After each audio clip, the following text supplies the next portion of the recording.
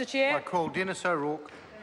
Mr Chairman. Just following on from what Eugenie Sage was saying, I wanted to say first of all about part one that the purpose is stated as being to establish a transitional, elected and appointed mixed uh, ECAN. But actually it doesn't say anywhere why, and nor has the Minister uh, or any other person from the uh, National Party yet explained comprehensively, comprehensively why there needs to be a mixed elected or appointed body. The bill itself certainly doesn't say that, even in the purposes section. And furthermore, section 31C refers to, quote, a majority of members of the council to be elected, unquote, but that majority is usually only one. So it's the least possible paper-thin majority that is possible. And as we'll see when we come to discuss part two, there won't necessarily always be a majority of elected people either. But that's something for us to discuss later. So really this is uh, not just a hybrid, it's a hybrid which may actually not be in any way at all democratic. And in fact, you can't really describe a body which is partly elected and partly appointed anyway as democratic. And the point is this, Mr Chairman, the crux of the whole bill is just this.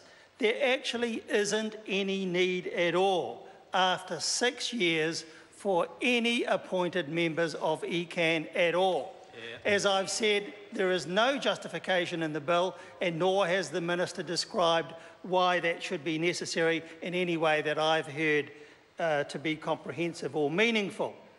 And when you look at the um, objectives of the 2010 appointments, fundamentally to make sure that the CWMS was developed, adopted and given effect to, then you could say that today, as we speak, that's actually already been achieved. And so again, it has been achieved. I mean, I live in Canterbury and I'm the chairman of the Central Plains Water Trust. I actually take notice of these things, and what is there is already so well entrenched that it would simply not be possible at all for that to be done away with, either in practice or in, by any process.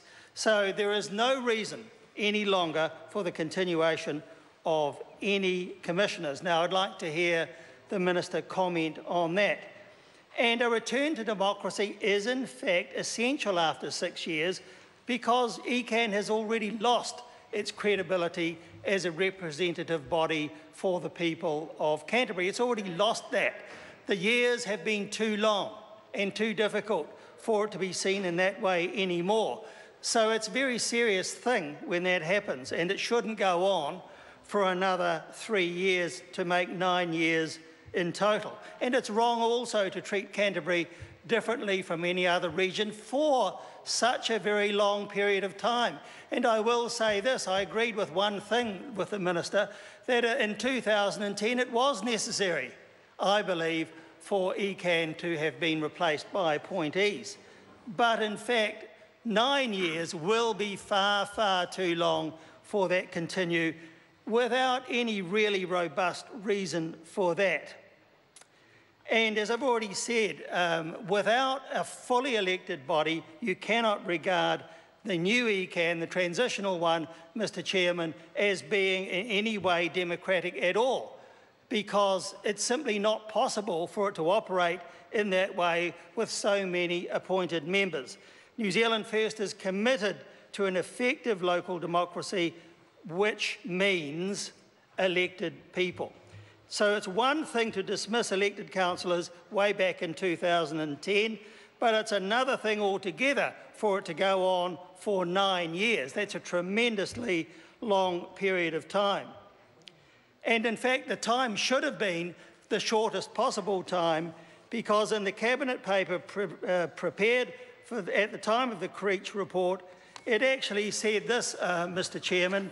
It says, and I will quote, uh, the explicit intent is for the commissioners to withdraw and be replaced by elected representatives as soon as their task is achieved and the present systematic issues are resolved, unquote.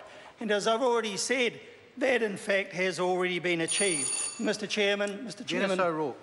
so the government has not explained why the appointment of, of commissioners should continue to be necessary after six years. And it needs to do that if it's to have any credibility with this bill at all. So I would ask the Minister to actually stand up right now and give us a full explanation of why that is necessary.